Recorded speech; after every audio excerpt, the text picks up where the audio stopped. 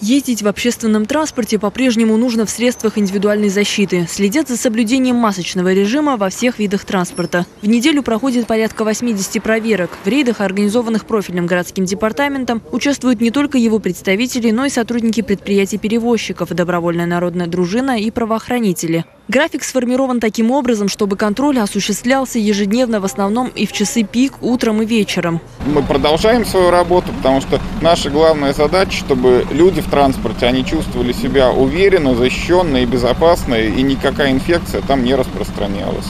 Только за прошлую неделю на нарушителей составили 7 протоколов, а за весь период с сентября прошлого года 498. Антимасочникам грозит штраф до 30 тысяч рублей. Решения принимаются судом с учетом всех обстоятельств. Если после замечаний проверяющих нарушение устраняется на месте, никаких санкций не последует. Так, за неделю в ходе рейдов 187 человек по своей вине не смогли продолжить поездку. Требования находиться в маске от начала и до конца рейса предъявляются к водителям и кондукторам. По традиции, каждый понедельник мы начинаем с инструктажа наших э, экипажей.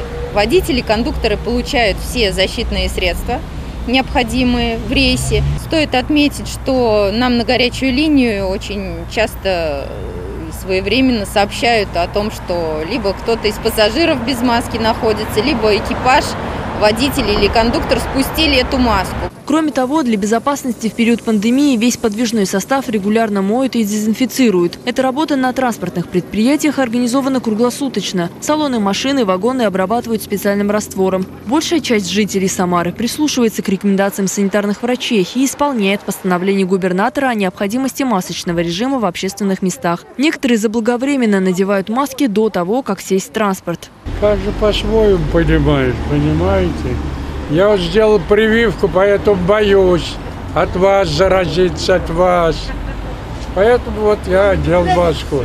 Также в Самарской области продолжают улучшать сервис для пассажиров. Так, с сегодняшнего дня станет доступно мгновенное пополнение социальных проездных и всех видов транспортных карт. Более подробную информацию можно найти на официальном сайте администрации Самары. Мария Елчан, Сергей Баскин. События.